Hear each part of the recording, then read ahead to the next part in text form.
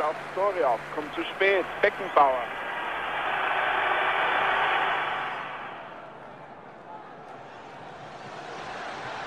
Now Zidane.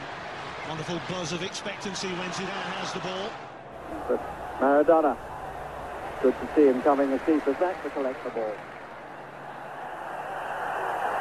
And on he goes, the little man. Und Pele.